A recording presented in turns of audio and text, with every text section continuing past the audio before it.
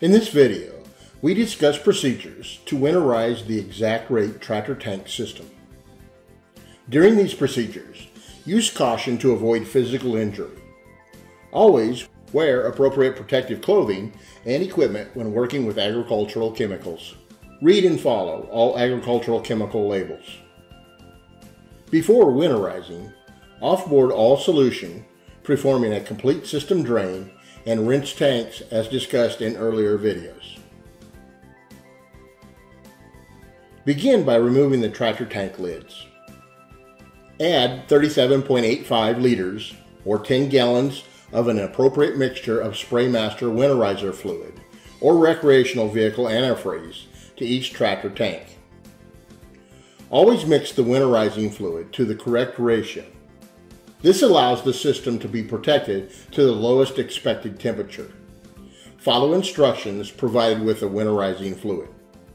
Reinstall the tractor tank lids. Place the tank shutoff valves in the open position.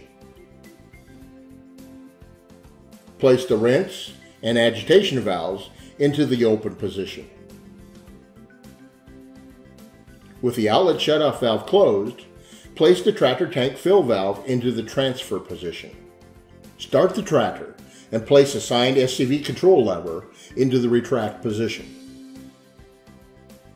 Run the pump for a minimum of one minute to circulate the winterizer fluid throughout the system.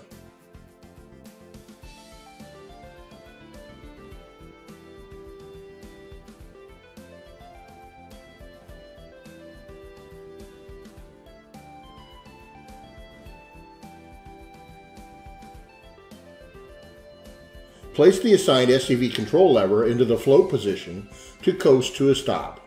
Wait 10 seconds before placing SCV control lever into the neutral position. Now place the fill valve into the receive position. Place both rinse and agitation valves into the closed position. Place the assigned SCV control lever into the retract position to run the pump. Run the pump again for a minimum of one minute to circulate the winterizer fluid throughout the remaining parts of the system. Remove all corrosive fertilizer from the tracker by thoroughly washing all surfaces.